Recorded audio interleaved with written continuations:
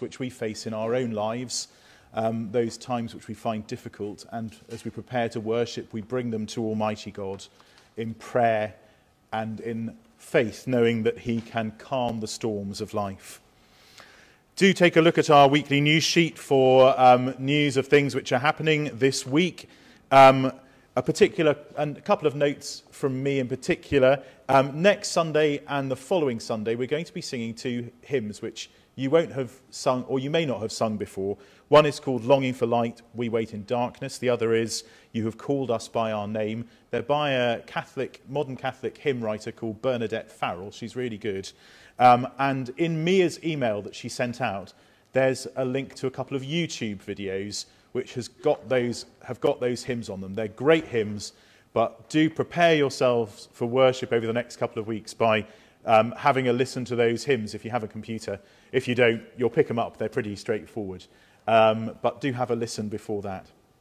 Um, the box for collecting um, uh, foreign currency is still at the font, so please do rummage through that drawer in which you keep your old Deutschmarks and things like that and, uh, and bring them along. Um, we'll be collecting for a little while for Headway Surrey.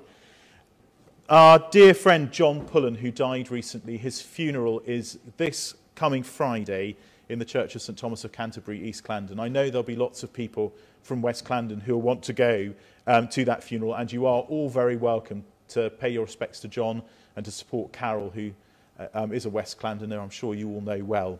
Um, please do be, there's going to be quite a few people going to the funeral, so I just pay attention, if you will, to the notice about parking. Um, it can be get a bit fraught, particularly when we've got to deal with hearses and all sorts of things outside the church, and the people in St Thomas's Drive can get a bit um, can get a bit understandably upset when the drive is completely packed full of cars. There are plenty of parking spaces on the old Epsom Road, which is not very far away from the church. So please do find somewhere to park where you're not sort of blocking the way um, if you're coming to that funeral. I say that just because we don't want a kerfuffle at the funeral with people from St. Thomas's Drive. We're not, we are recording, aren't we, rats? I'll edit that bit out. I'm sure they won't be watching. Uh, Anyway, in a, Sebastian's going to play for a moment longer, and then in a moment we're going to stand to sing our first. Oh, there will be coffee, by the way, after the service. Stay behind after the service for coffee. Thank you, Mia, for preparing coffee today. Um, in a moment, we're going to sing our first hymn, The Church is One Foundation, which can be found on page two of your weekly news sheet.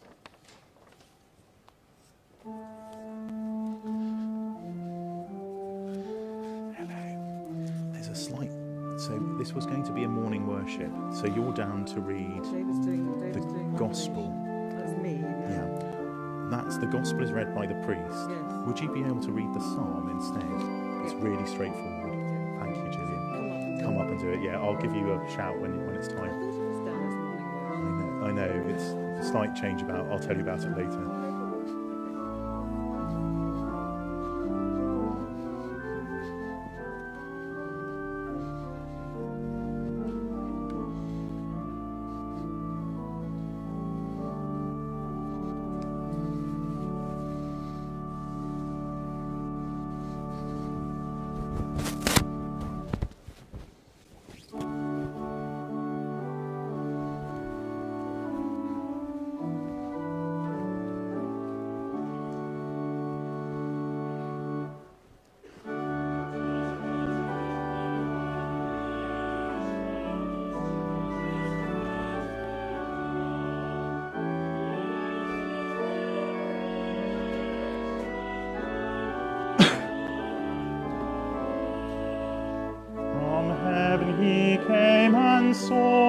Her to be his holy bride. With his own life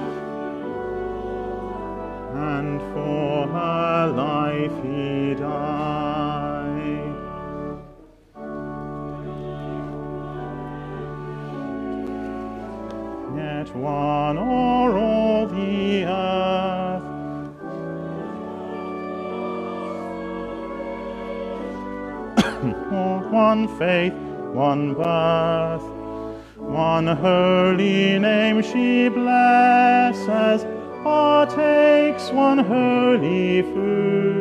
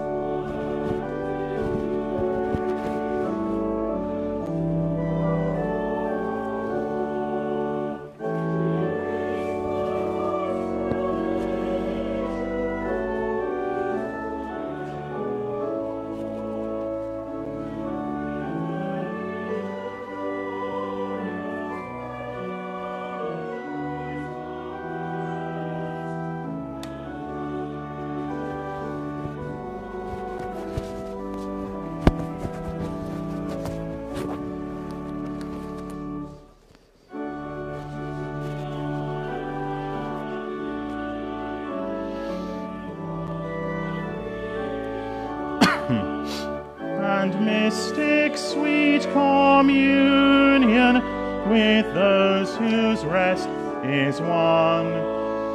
O happy ones and holy, Lord, give us grace that we, like them the meek and lowly, on high may rest with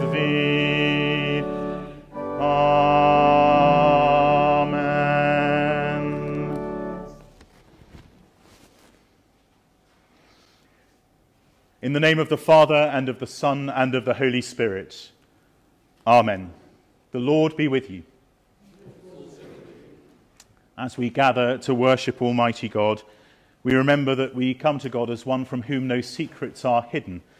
And so we confess our sins in penitence and faith. We sit or kneel to pray.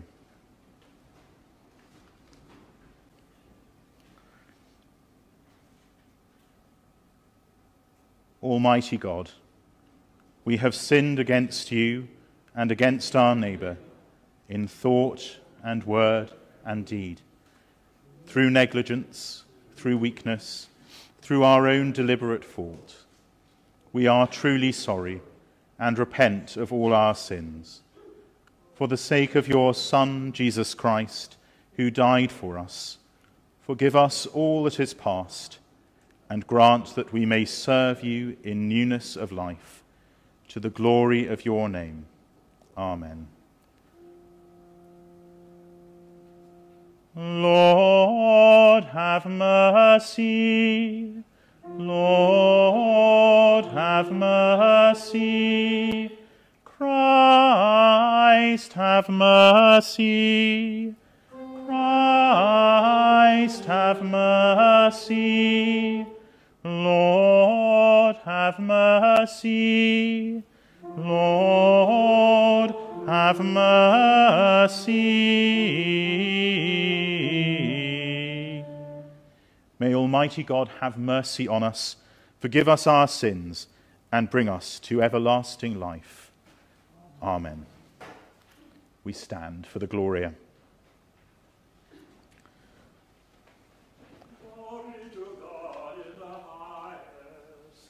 And peace to his people on earth.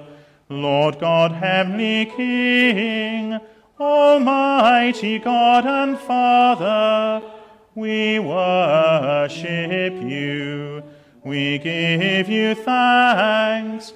We praise you for your glory.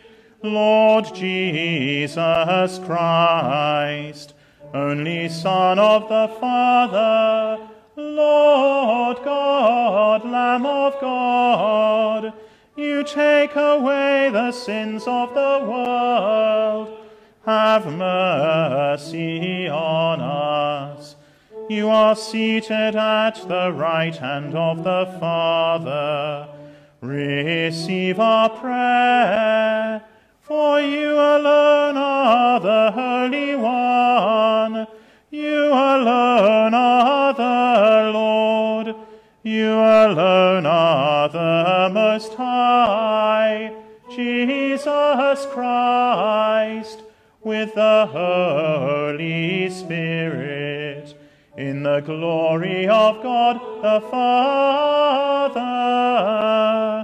Amen.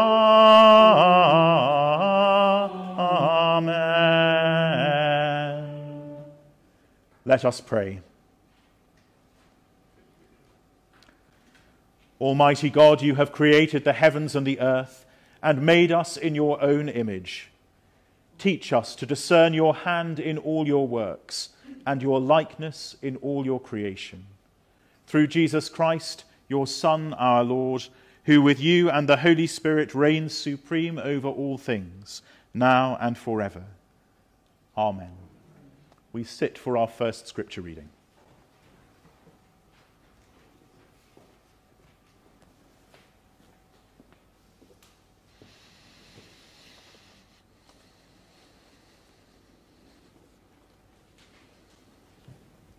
First reading is taken from Revelation 4. After this I looked, and there in heaven a door stood open. And the first voice, which I heard speaking to me like a trumpet, said, Come up here, and I will show you what must take place after this. At once I was in the Spirit, and there in heaven stood a throne, with one seated on the throne. And the one seated there looks like jasper and cornelian and around the throne is a rainbow that looks like an emerald. Around the throne are 24 thrones, and seated on the thrones are 24 elders, dressed in white robes with golden crowns on their heads. Coming from the throne are flashes of lightning and rumblings and peals of thunder. And in front of the throne burn seven flaming torches, which are the seven spirits of God and in front of the throne there is something like a sea of glass, like crystal. Around the throne and on each side of the throne are four living creatures, full of eyes in front and behind. The first living creature like a lion, the second living creature like an ox, the third living creature with a face like a human face and the fourth living creature like a flying eagle. And the four living creatures, each of them with six wings, are full of eyes all around and inside. Day and night, without ceasing, they sing, Holy, holy, holy, the Lord God, the Almighty, who was and is and is to come. And whenever the living creatures give glory and honour and thanks to the one who is seated on the throne, who lives forever and ever. The 24 elders fall before the one who is seated on the throne and worship the one who lives forever and ever. They cast their crowns before the throne, singing, You are worthy, our Lord and God, to receive glory and honour and power, for you created all things and by your will they existed and were created. This is the word of the Lord. Thanks be to God. We remain seated for the psalm.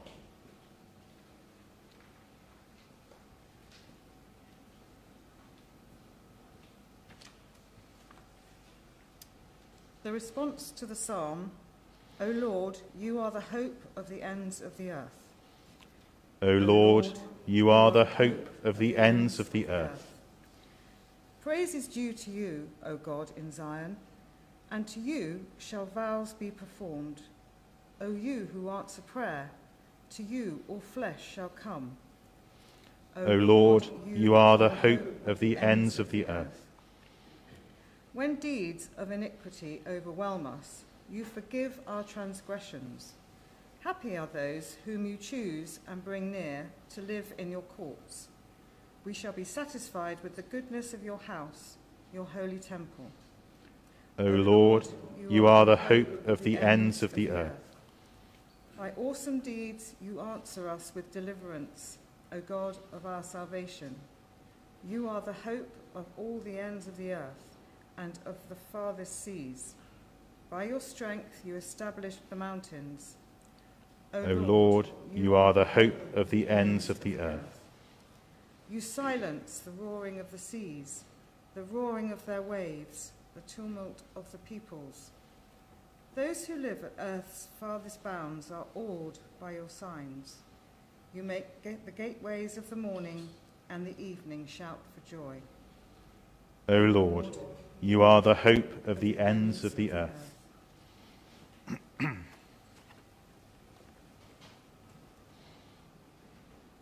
we stand for the gospel.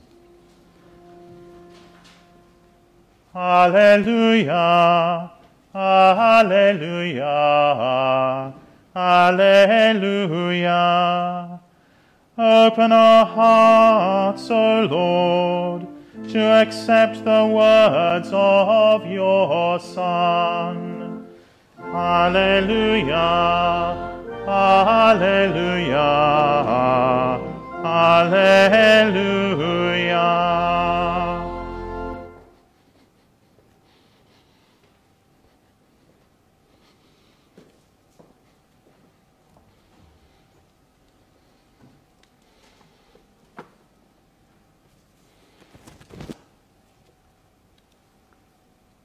The Lord be with you.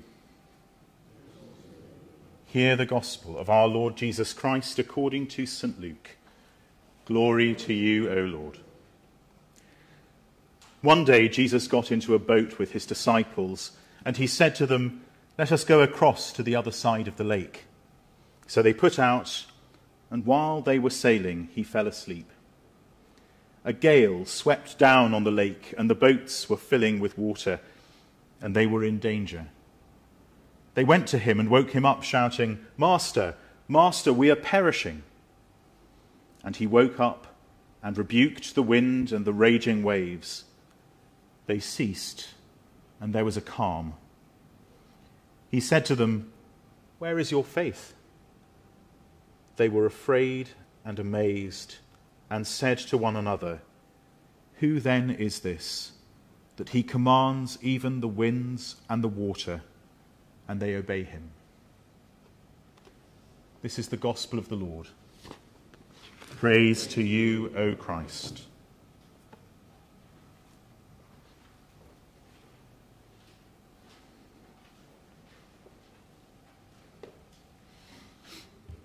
In the name of the Father, and of the Son, and of the Holy Spirit. Amen. Please be seated.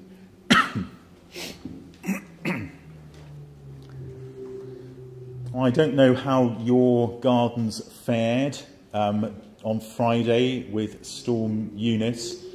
At the rectory, as we um, clear up the branches and as people around us repair bits of broken fence in Eunice's wake, it feels an entirely appropriate day for us to spend some time reflecting on this reading from St. Luke's Gospel, in which we see our Lord's power over the tempest, over the raging storm. The disciples were seasoned mariners, as we know, or at least many of them were. They were fishermen. They were used to dealing with storms on the Sea of Galilee. They knew what signs to expect when the weather was about to turn. They knew how to get themselves out of trouble. It would have, I guess, been quite some storm to frighten these hardy seafarers. Perhaps they'd been struggling against the storm for some time, bailing out the water which had been swamping their boat, trying desperately to steer the boat so that the wind didn't capsize them, so that the waves didn't crash into the side. They would have been frightened, working incredibly hard, and at this point, completely desperate. Just on a natural level, there was plenty to be frightened about on the Sea of Galilee on that day. But to the ancient Jewish people, the sea wasn't just a physically perilous place, it was spiritually dangerous too. The ancient Hebrews believed that the tumult of the waves was caused by demonic forces of chaos which lived in the deep. And that sense of the deep being a place associated with evil um, had persisted to Jesus' day. In a few verses' time in Luke's Gospel, we read the story of Jesus casting out demons from a man who had many, many demons, called Legion. You might remember the story. He casts out, he's about to cast the demons out, and the demons say, Cast us out into that herd of swine over there. And so he casts them out into the herd of swine. And what do the pigs immediately do? They run headlong into the lake of, into the Sea of Galilee. They run back, as it were, to their native territory, to the water. The ancient Hebrew people believed that the tumult of the waves was caused by demonic forces of chaos. It was the abode of terrible sea monsters, the ancient sea dragon, Leviathan, and Rahab. You read about them in the Old Testament. It's little wonder that the Jewish people never really became a great maritime nation. They were terrified of the sea.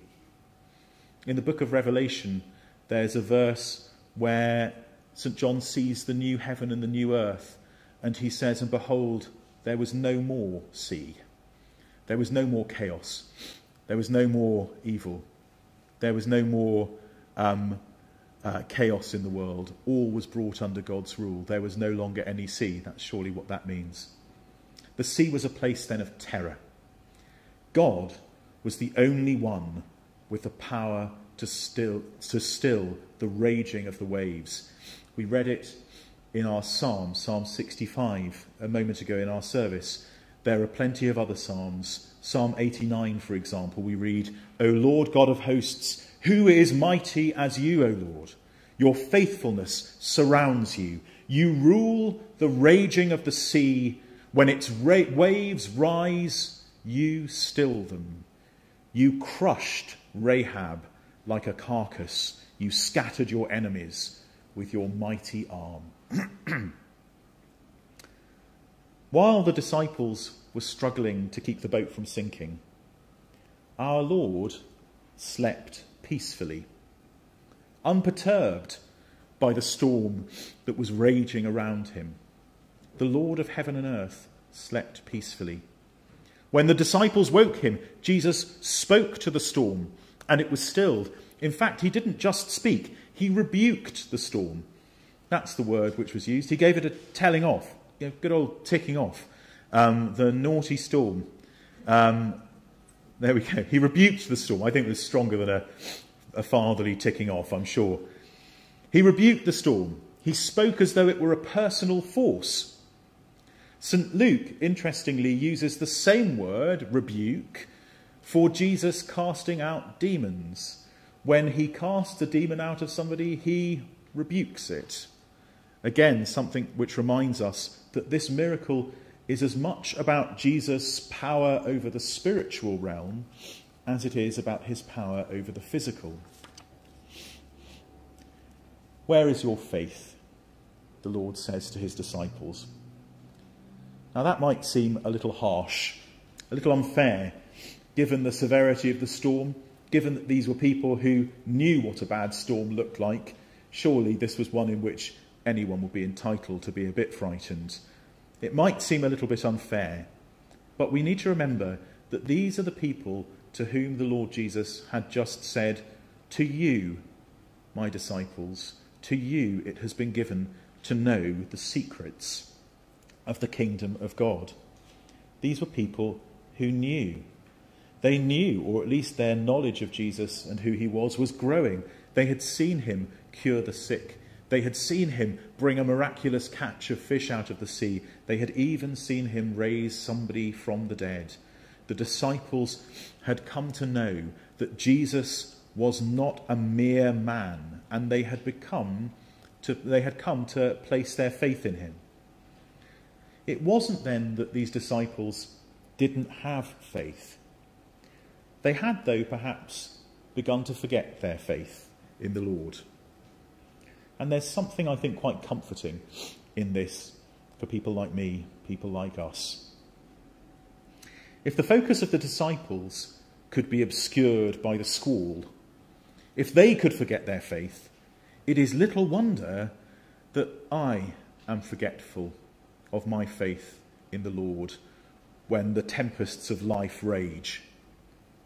Think for a moment.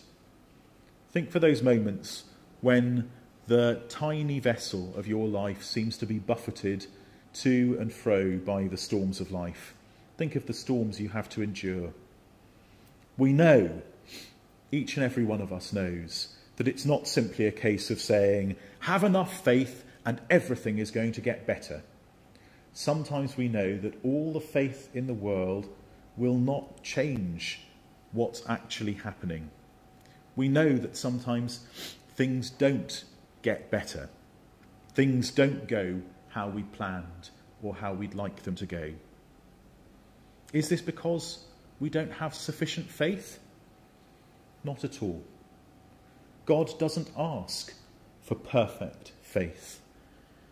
He asks for the thinnest glimmer of faith, the tiniest bit of faith. It's not then a mark of faithlessness that our faith is often weak, particularly when the storms of life rage. It's not a mark of faithfulness, it's a mark of humanity. As it was for the disciples, so it is for us. It is a mark of humanity when our faith is weak, when we are forgetful of our Lord. God doesn't ask for perfect faith in the midst of the storm. He asks for real faith, with all of the fear and the uncertainty that goes along with real human faith. Ultimately, the disciples do have this faith, this tiny glimmer which shines even in the darkness of that day on the Lake of Galilee, on the sea, in the Sea of Galilee. They stopped looking at the storm. They stopped trying to make sure that the boat was kept upright by their own power. They stopped trying to do things themselves. They stopped looking at what was going on around them, and instead they looked to the Lord Jesus. They woke him. They looked to him in their time of need, and looking, they were overcome with awe and wonder. Their faith was strengthened. They, they didn't say, What manner of wind and waves are these? That suddenly they've stopped. They looked at the Lord Jesus and they said, What manner of man is this that even the wind and the sea obey him? They looked to Christ. That's, I think, the question that St. Luke wants us to ask ourselves. What manner of man is this? Who is this man who brings peace to the tempest, who has power to silence the forces of darkness and chaos?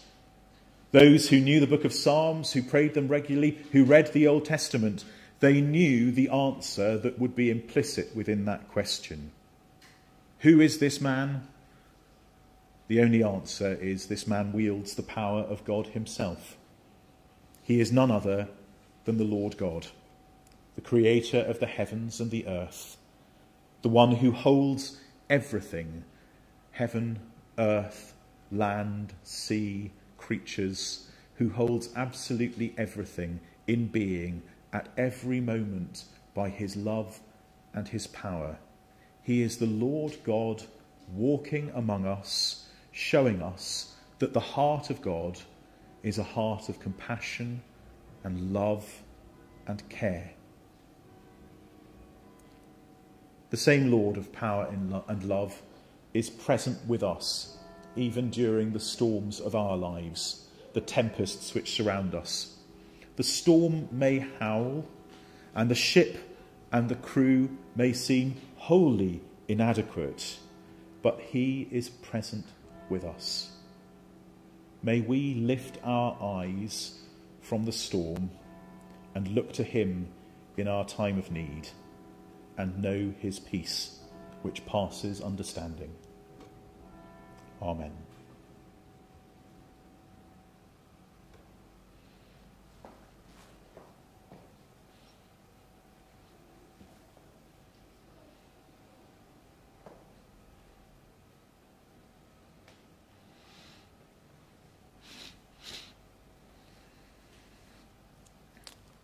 we stand to declare our faith in Almighty God, Father, Son, and Holy Spirit.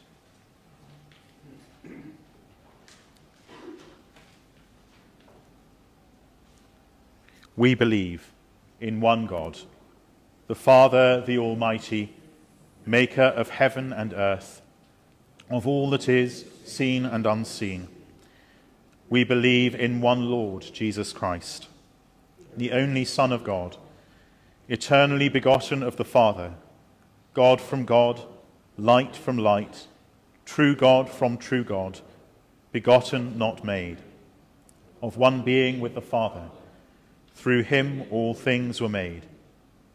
For us and for our salvation, he came down from heaven, was incarnate from the Holy Spirit and the Virgin Mary, and was made man. For our sake, he was crucified under Pontius Pilate. He suffered death and was buried. On the third day, he rose again in accordance with the Scriptures. He ascended into heaven and is seated at the right hand of the Father. He will come again in glory to judge the living and the dead, and his kingdom will have no end.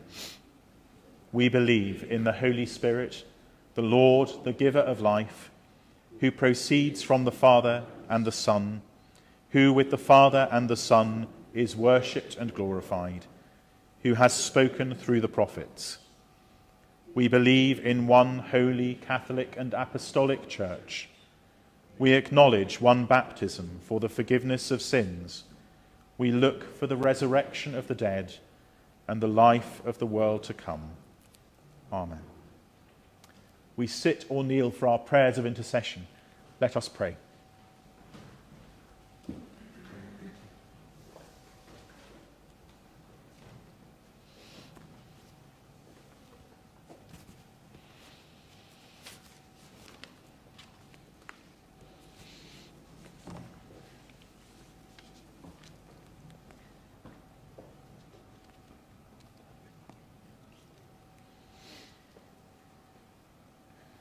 Almighty God, we ask you to hear our prayers this wintry morning as we pray for all humankind, for others, and for ourselves. We pray that every living person of any faith or no faith at all may see and experience you in the people around them, in their environment, and in themselves and in their daily lives. Help us all to seek out, recognize, acknowledge, and follow your greater light. Bless and guide all those who lead us in our search. Bless our bishops, senior clergy, and of course our rector Barnaby, Douglas, Helen, and Sue and the team here in the Clandons. Lord, in your mercy, hear our, prayer. our prayer. God of compassion, we pray for all who have suffered from Storm Eunice and the day of destruction which followed in its path. We ask your blessing on all who've worked over the last couple of days and continue to work to rescue people animals, and property, to restore vital services to homes, and to repair the damage caused by the extreme weather.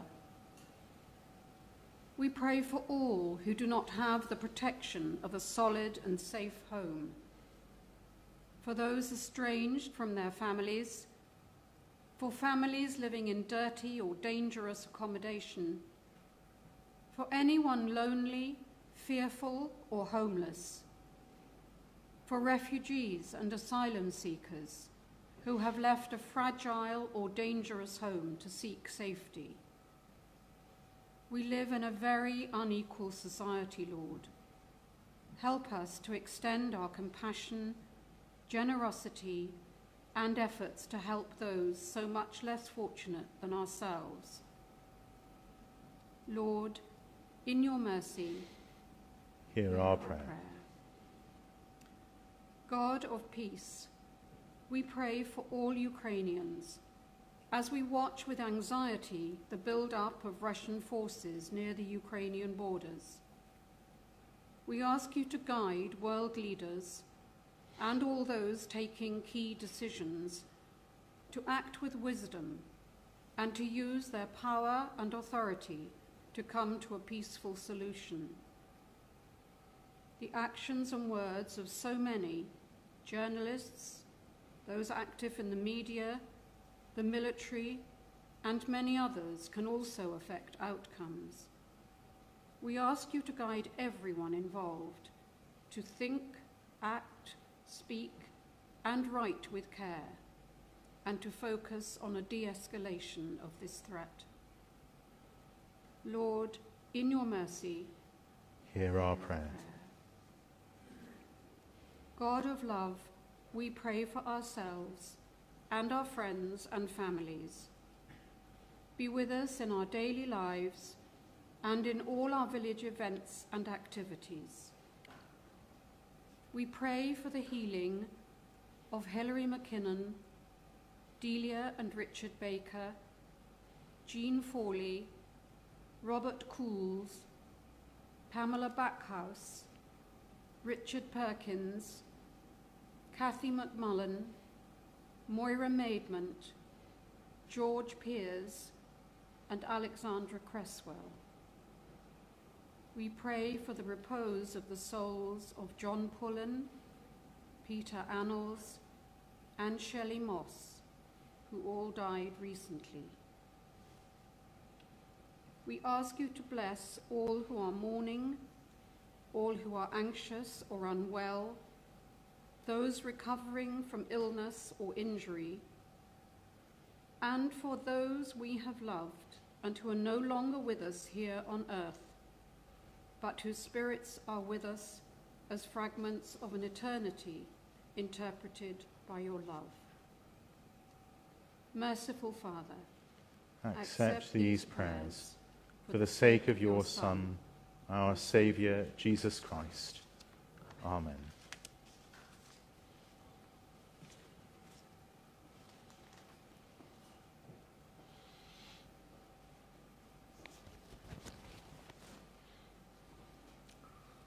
Would you please stand? Lord Jesus Christ, you said to your apostles, Peace I give you, my peace I leave with you.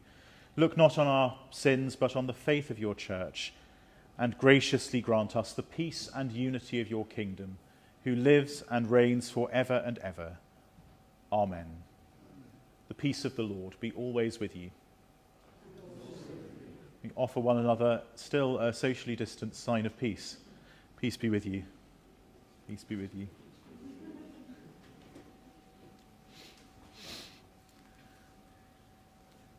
We stand and sing our offertory hymn as the altar is prepared, which can be found on page six of your weekly news sheet. When all thy mercies, O my God, my rising soul surveys, transported with the view I'm lost in wonder, love, and praise.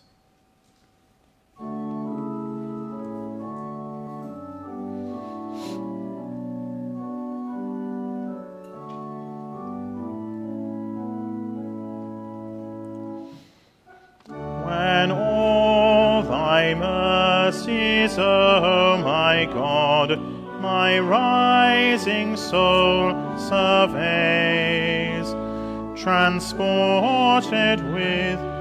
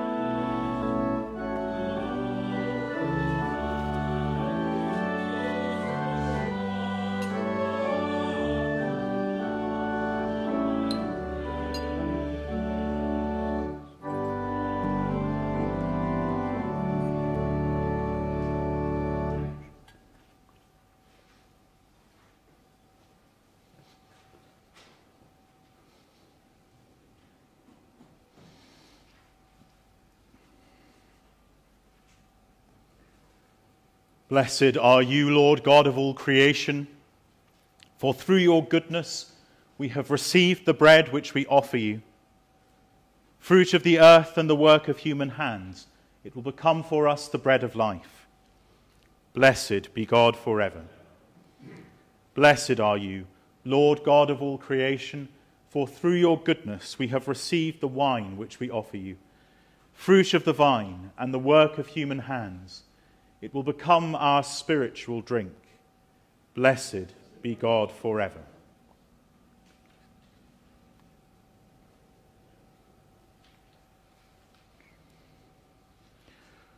Lord, as we make this offering, may our worship in spirit and truth bring us salvation. We ask this in the name of Jesus the Lord. Amen. The Lord be with you. Lift up your hearts. Let us give thanks to the Lord our God.